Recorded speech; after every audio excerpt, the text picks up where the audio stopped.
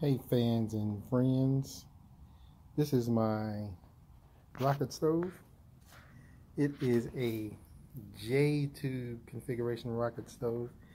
This is, in my opinion, the best rocket stove for heating and cooking. But all rocket stoves work well.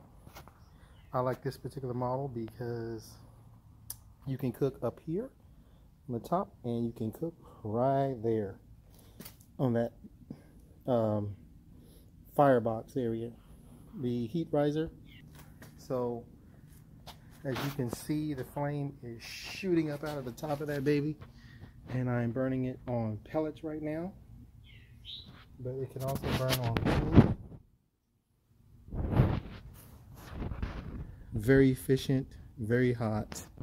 Um, very easy to make and I'm going to show you how to do it right now.